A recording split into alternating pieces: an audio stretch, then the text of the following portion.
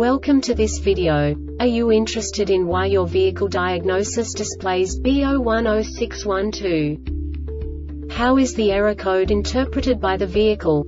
What does B010612 mean, or how to correct this fault? Today we will find answers to these questions together. Let's do this. First, let's look at the history of diagnostic fault code composition according to the OBD2 protocol, which is unified for all automakers since 2000. We divide the electric system of automobile into the four basic units. Powertrain, body, chassis, network. This distribution is defined in the first character code.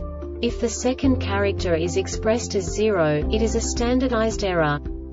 In the case of numbers 1, 2, 3 it is a more prestigious expression of the car-specific error. The third character specifies a subset of errors. The distribution shown is valid only for the standardized DTC code. Only the last two characters define the specific fault of the group. The add-on to the error code serves to specify the status in more detail. For example, a short to the ground. Let's not forget that such a division is valid only if the other character code is expressed by the number 0. Our website airbagreset.sk produces useful videos for you. You do not have to go through the OBD2 protocol anymore to know how to troubleshoot any car breakdown. You will find all the diagnostic codes that can be diagnosed in a Jeep vehicles. Also many other useful things. The following demonstration will help you look into the world of software for car control units. You unbelievably can move the video a bit further. The error code is split into two bytes consisting of 16 bits. One bit is the basic unit that each computer works with. The bit has two logical states. 0, low level, 1, high level. By combining the first two bits, the basic character of the error code is expressed. The next two bits again determine the second character. The last beat styles of the first byte define the third character of the code. The second byte is composed of a combination of 8 bits. The first 4 bits determine the fourth character of the code. And the combination of the last 4 bits defines the fifth character. A single byte conceals 256 possible combinations.